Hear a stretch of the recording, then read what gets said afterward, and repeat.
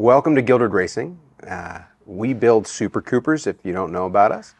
And today I'm going to tell you about our latest and greatest achievement, which is the Tesla powered Classic Mini.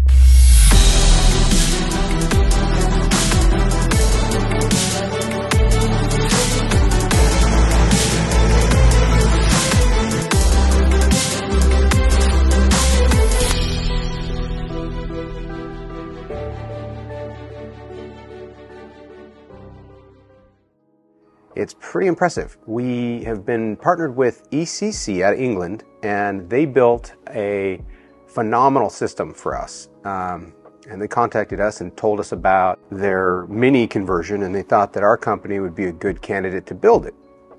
And we thought about it, and I have been reluctant to do EVs.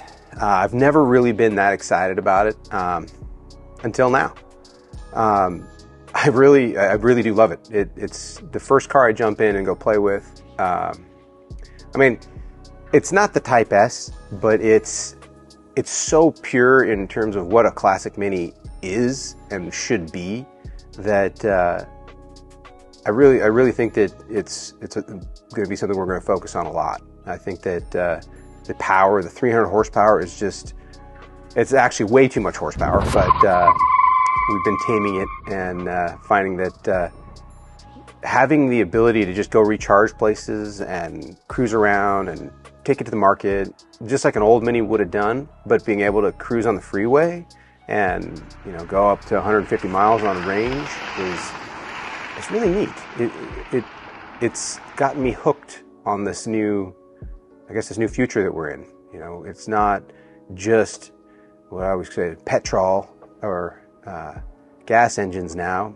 It's this new world that is is coming up quickly. And, and the real the real issues that I saw with the EVs was the batteries weren't there. You know, this Tesla motor, it's insane. 300 horsepower. You don't need more than that in this thing. In a front wheel drive Mini. But uh, when it comes to uh, the battery range, they really have stepped it up. And the new battery systems that we're able to put in here are uh, close to 40 kilowatts which is a lot. And that'll give you a lot of driving distance, you know, freeway cruising, get you down to LA from here, um, things like that that uh, were kind of a concern for me, especially in the earlier cars I looked at. And and I really like how uh, ECC is working directly with us, and they're they're allowing us to come up with ideas and, and kind of make some retrofit concepts to allow AC and other other things that all of our customers really they want. And um, also got me to really think about really high-end hi-fi audio, which is one of my other hobbies. So having a car that's this quiet and this calm, you know, that's sort of it's sort of awkward at first, uh, but then it reminded me, let's listen to some music perfectly without the interference of a revving engine, and I think that will compensate, you know, where I, I felt that the, the, it was too quiet, you know. But uh, I'm going to let Nate tell you a little bit about the car. Uh, it was his project. I just gave him the reins and said, go for it. And he made a really in- incredible car. Hey, I'm Nate. Uh, I was kind of in charge of this EV project. Um, Tyler graciously let me have some artistic reign on this one. Uh, and I got to choose everything except for the color. So it came in electric periwinkle before we got a hold of it. And it just kind of stayed that way. Um, but it kind of suits the car and the vibe. Um, what else is there to say? It's a Tesla kit from Electric Classic Cars from the UK. Uh, it's got a Tesla Model S front drive unit uh, with about 300 horsepower, and this particular car has about 31 kilowatts, uh, kilowatt hours of power. The next kits will be closer to 37. Um, and it's about the fastest, smoothest, best driving classic Mini you can really hope for.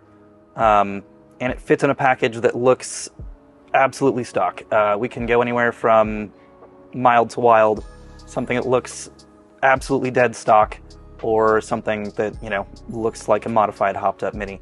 Uh, we found that it's pretty easy to add, but it's hard to subtract. So if you start off with a complete classic, uh, it's easy to add big wheels and big fenders and a flashy interior and a stereo and power windows and all sorts of stuff like that, but it's hard to set it back to classic. So with this car, we wanted to keep it classic, keep it looking pretty much stock. It's got an updated interior, but nothing that's really too out of left field. Um, simple dash, simple controls, uh, easy for anybody to just get in and go um, and not feel intimidated by big screens or crazy tech anywhere. It looks, feels, drives like a classic Mini, um, except with a whole lot more power. Driving experience, uh, it's obviously it's a lot quieter, smoother, torquier, um, but the the things that you feel, the steering feel, the brake pedal, um, the the feedback from the road is all still very similar to what you get in a classic Mini, which is what everybody loves about a classic Mini. Um, everybody, I, not everybody, we've had a lot of uh, questions about, oh well, what about the, the the feeling of the the motor, and you're putting an electric motor in a classic, and that's sacrilege. The motor in a Mini was never anything special. It was, and I know people are going to yell about that too. They had it. It was around long before the Mini ever showed up. It's been in the Austin Metro, Morris Marina. Tons, literally dozens of cars had an A series in them. The motor's not what makes it special. Everything else about a Mini is what makes it special. It's the packaging, it's the handling, it's the styling. That's what makes a Mini special. It was never the motor. And so adding a whole bunch more power and a whole bunch more refinement to the rest of this package is really what makes this car special as electric cars are becoming more and more popular in America, especially, charging network is expanding all the time. There's chargers everywhere.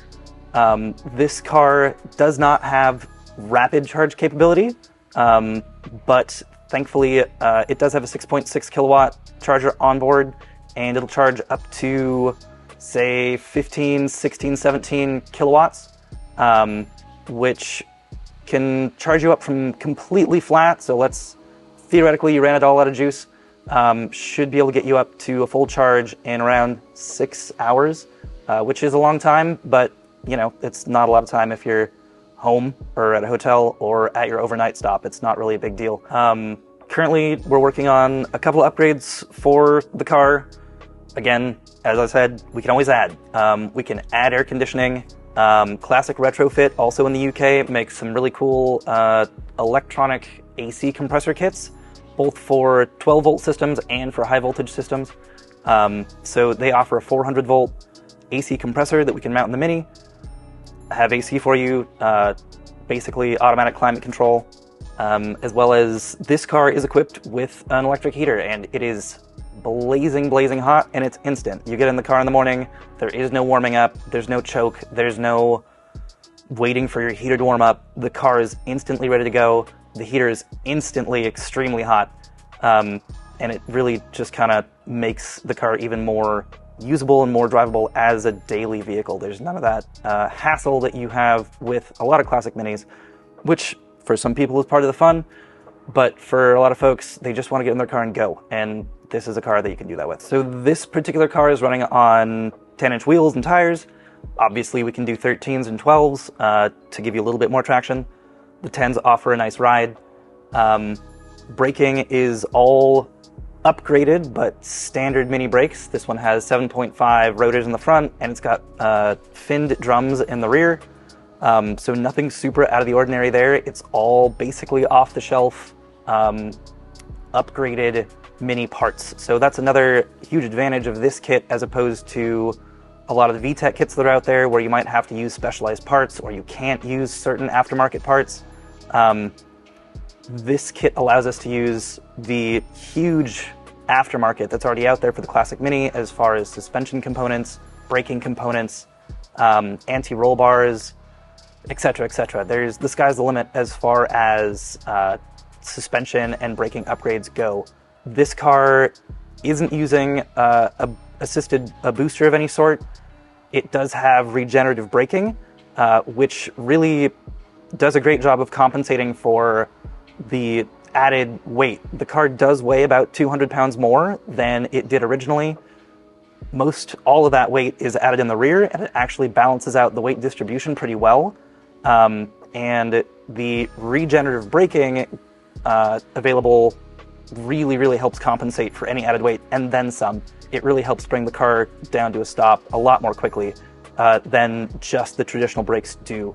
And it's all configurable as well, anywhere from uh, kind of simulating what an uh, engine brake feels like, and we can ramp it all the way up to uh, like a one-footed driving experience. If you're used to an electric car and you like a one-pedal driving experience, we can adjust it so that it feels like that too, and it'll almost come to a complete stop without ever touching the brakes at all. It's all regenerative braking.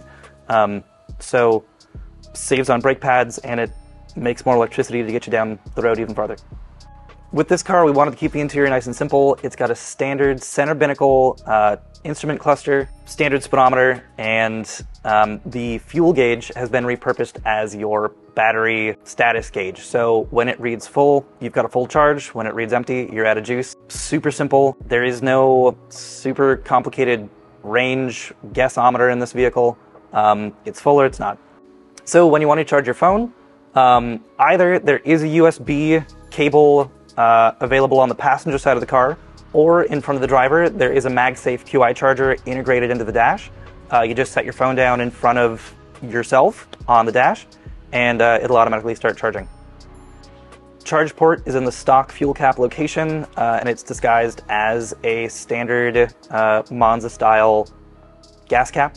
Um, just pop it open and plug it in. More detailed data display screen located in the trunk.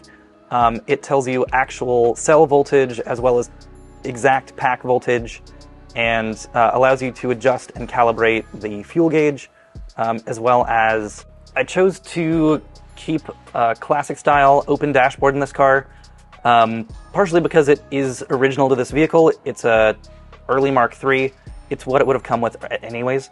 Um, and classic styling will always be classic styling.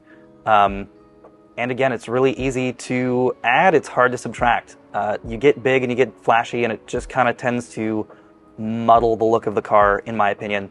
Um, and keeping a nice, simple dashboard uh, with just a little, little bit of, uh, I don't know, artistic update with a little bit of the, the seat material on the dash.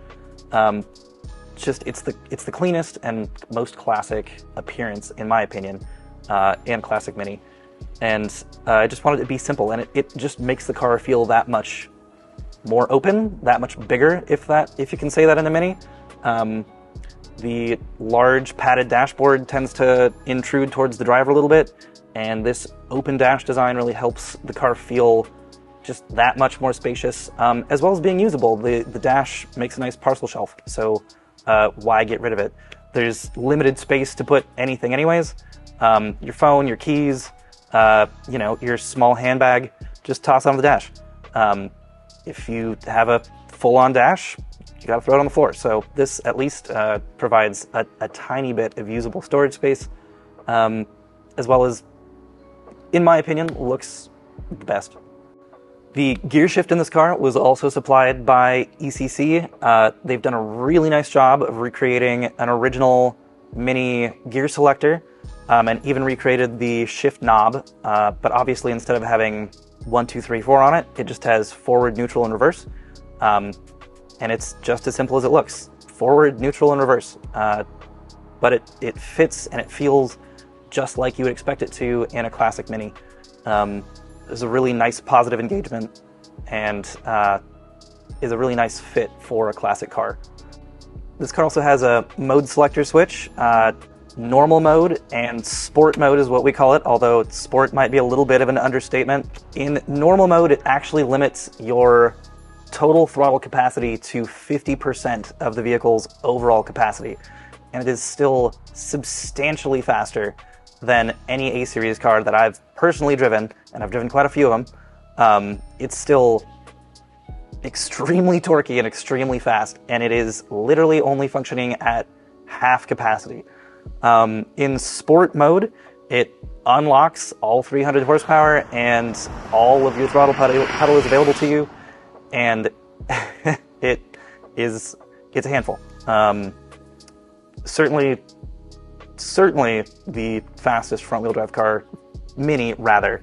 Um, I can personally imagine out there. I know there are some crazy ones out there, uh, big turbos, K series, etc., etc. Um, I feel like they would still have a hard time keeping up with this one.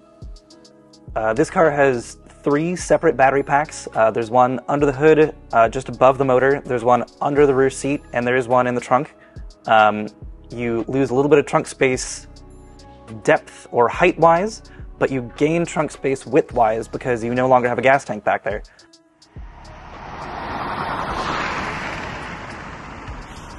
If you are interested in a Super Cooper EV, we are now taking orders.